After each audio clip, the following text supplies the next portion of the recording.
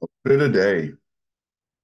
The word of the day comes from the book of Psalms, verse 73, chapter 73, verse 26. It says, My heart, my hmm, says, My flesh and my heart fail, but God is the strength of my heart and my portion forever. Amen. Flesh and my heart may fail. My flesh and my heart fail. But God is the strength of my heart and my portion forever. Amen. Think about this verse. I think about how we ourselves, our flesh tells us that we don't need God that we can do these things on our own. We we have control of our lives, and we just need to do what we need to do to do what has to be done. But as we learn and we start to be on this journey, and as God starts to open our eyes and our hearts to Him, and He calls us in, we see that He is the strength of our heart. God dwells in our hearts. This is the place where the evil one dwells in our minds, but God dwells in our hearts. So the flesh is in the mind. The problems that we have are going on in our minds that we we see and we do and all the things telling us all these things is is not of God. They're from the evil one. But I we realize that God is our strength. In Jeremiah 17, verses 9 and 10, it says, The heart is deceitfully, is deceitful above all things and desperately wicked. Who can know it? Only God knows our hearts. Only God knows the wounds that we have suffered in our lives, the things that's happened to us, the things that that keep us from you know, totally surrendering and giving everything to Him. The things that people have done, the experiences that we had. God knows it all, and it all starts in our heart. That's where it lives. This is why God says He'll give us a new heart and a new flesh because He takes those things out. And I'm getting way ahead of myself, but it's okay. It says, I, the Lord, search the heart I test the mind, even to give every man according to his ways, according to the fruits of his doing. It's very important. God searches the heart. He knows. You know, he tests us, of course. He we we go through tests every day. We go through tests with people, we go through tests of things that happen do we give it to the Lord? Do we try to do it ourselves? Do we get offended by what people say and, and do we get into arguments with them or fights? The reason all of these things are happening out of the world is because they do not know God. Man can never ever get it right.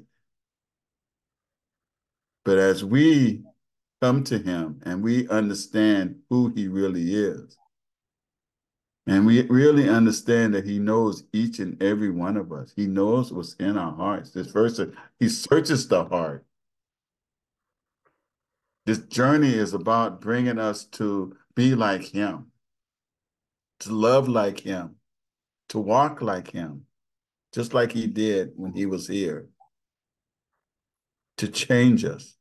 Praise the Lord for that, because we all realize that can we do these things on our own? No. We can read a bunch of books and listen to a lot of lectures and go to a lot of YouTube and Twitters and stuff, but no, it will not do anything.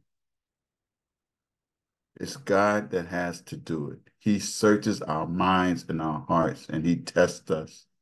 He brings us closer and closer to him every day. Every day we get closer and closer to him.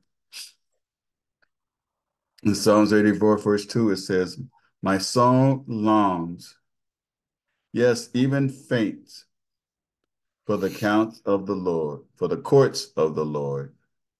My heart and my flesh cry out for the living God. Praise the Lord for that. This is where we're getting to. We have troubles, we have sorrows, we have pains, we have sickness and illness, and we this is when our hearts and flesh need to cry out to our God because He is the one that can deliver us. Praise the Lord for that. Praise the Lord for that.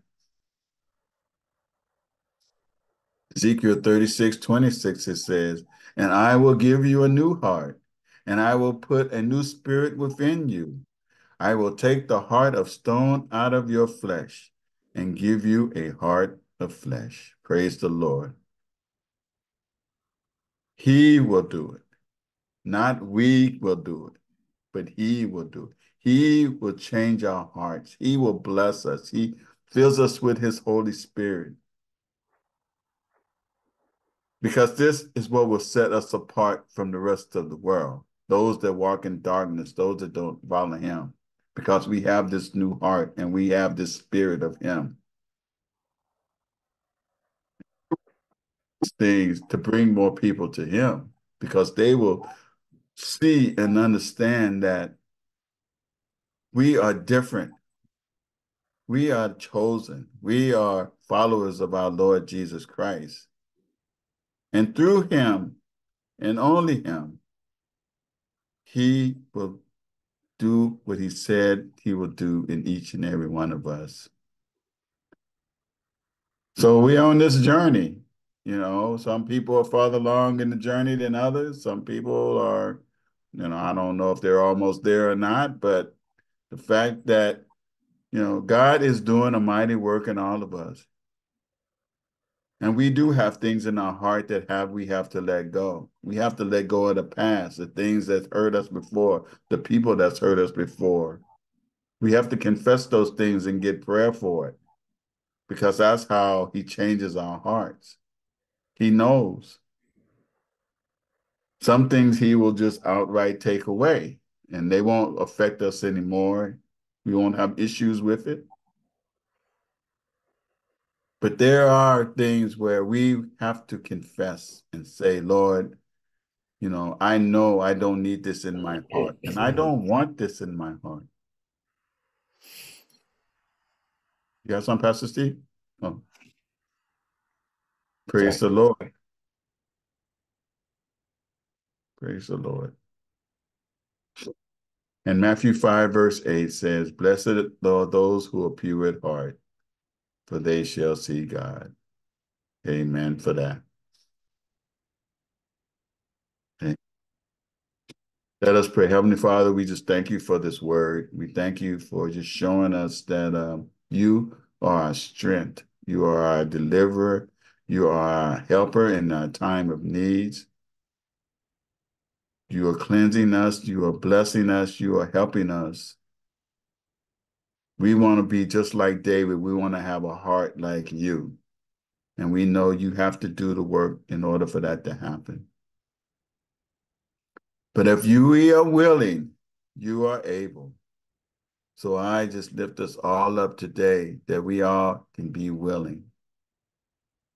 I pray that you bless everyone today on this call. Give us a wonderful day.